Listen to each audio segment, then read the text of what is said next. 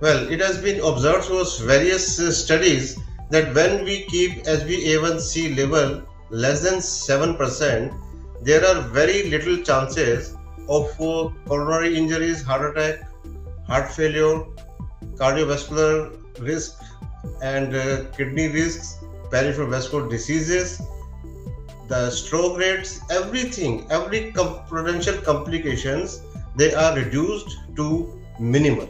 So therefore, besides quality of life, so therefore it is important to keep HbA1c levels below 7. Types of diabetes, they were earlier known as insulin dependent, non-insulin dependent. Now we have changed the classification. Broadly, there are two type of diabetes. That is type diabetes type 1, where essentially every patient has to be put on insulin. This usually occurs in the young age, but sometimes the patients of the older age also can get this diabetes, which is different form known as LADA, LADA, where also they require insulin. No medicine works for this type of diabetes. Then we have very common, that is type 2 diabetes, which occurs usually at the age 35 years or more, and particularly more common in the people who are more obese and they have the family history. They have the sedentary lifestyle. They have very few uh, physical activity.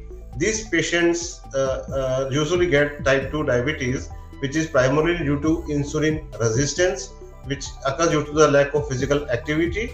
And this is manageable with medicines but sometimes these type of patients when they are not controlled with the medicines some we have to use insulin in this type of patients as well.